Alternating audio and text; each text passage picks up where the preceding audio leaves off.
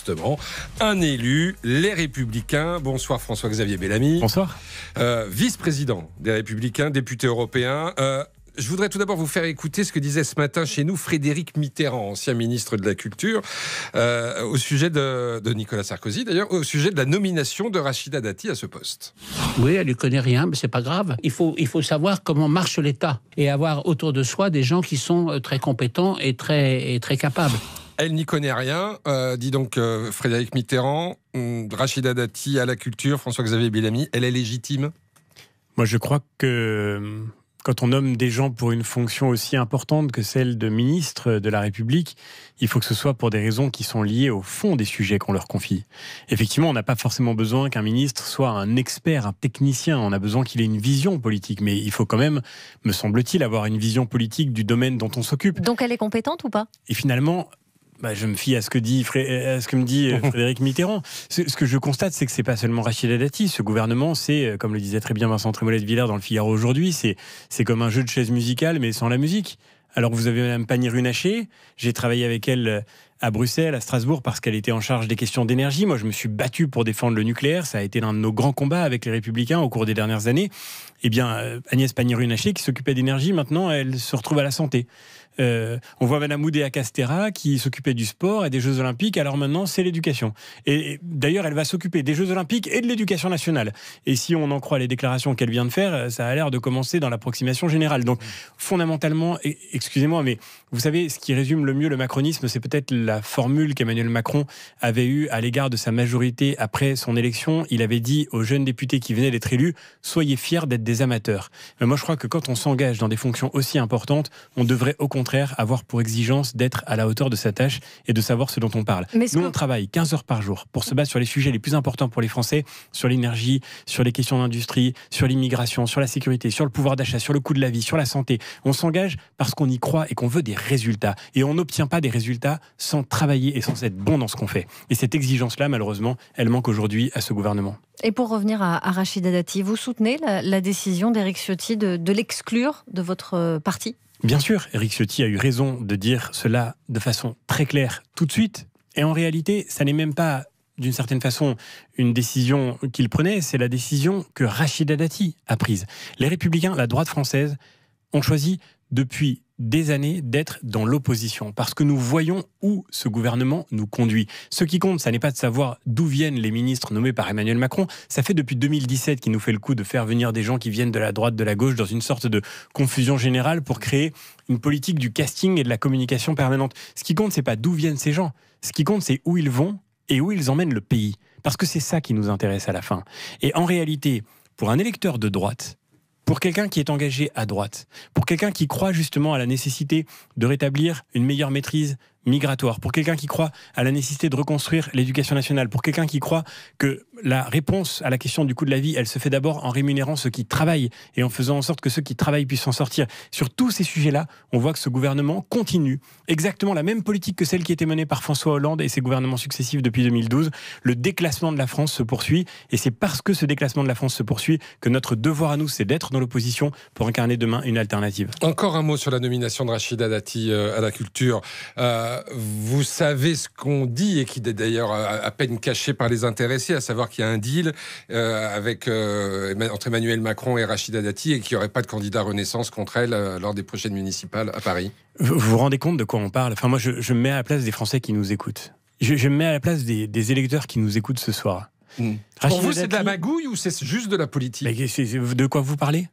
Il y aurait un deal, on, on, vous donne la culture en échange, on met pas de candidat contre vous, mais c'est mais pardon, mais on est en train de rentrer dans une politique à la petite semaine qui fonctionne par bière à 10 bandes pour des intérêts personnels.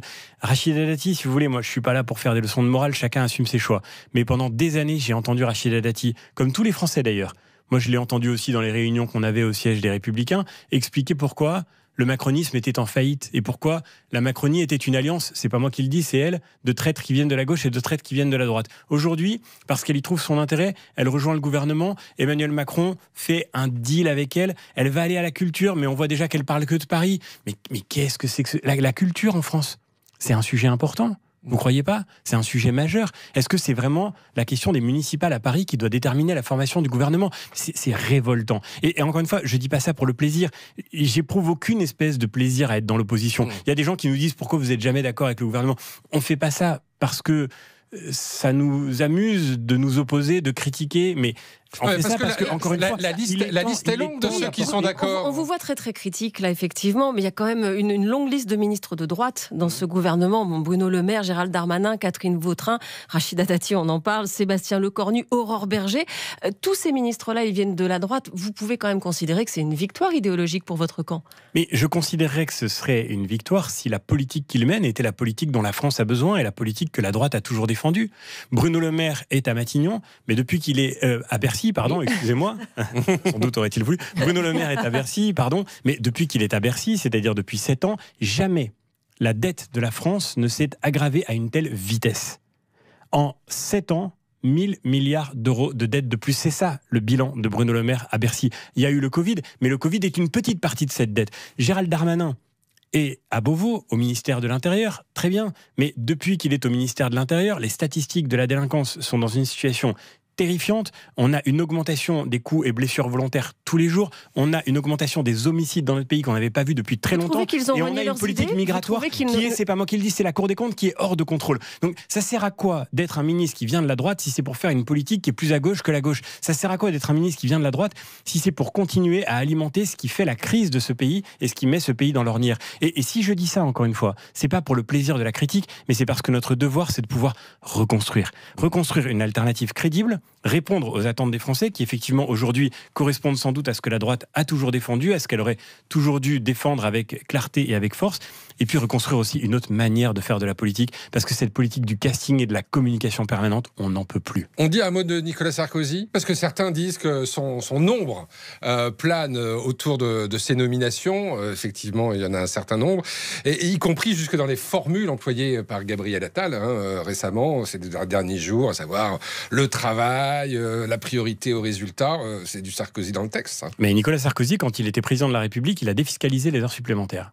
J'en parlais euh, il y a très peu de temps avec un artisan qui me disait, moi, ça a changé ma vie, ça a changé la vie de mes salariés. La défiscalisation des heures supplémentaires, c'était justement pas seulement une manière de parler des gens qui bossent et qui ont besoin de gagner plus, mais c'était une manière de le faire. Mmh.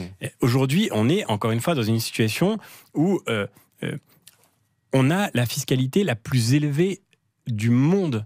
Euh, et malgré le fait qu'on paye les impôts et les charges les plus élevés du monde, on a une dette publique qui ne cesse de déraper et tous nos services publics essentiels sont en train d'échapper aux Français. Pour avoir mmh. un rendez-vous chez le médecin, dans beaucoup de territoires dans ce pays, il faut des semaines, parfois des mois d'attente. Pour pouvoir réussir à obtenir justice auprès de l'institution judiciaire, il faut parfois des années avant que les choses se passent. Donc, ce que je veux dire, c'est que la question, c'est pas la communication. Oui, la communication, si on écoute seulement les paroles, il y aurait beaucoup de choses qui pourraient nous paraître convenables. Le problème, c'est pas les mots. Le problème avec le macronisme, ça a jamais été les mots. On en a eu beaucoup, beaucoup, beaucoup. Le problème, c'est les actes et c'est la réalité. Donc, malgré la composition de ce gouvernement, vous êtes toujours dans l'opposition. On l'a bien compris. Merci beaucoup, euh, François-Xavier. Merci à vous. Vous faites pour les européennes euh, Vous allez mener la liste des Républicains ben, On verra, on verra. Ce qui compte, encore une fois, c'est d'abord le contenu et l'action et la question des personnes, elle est secondaire.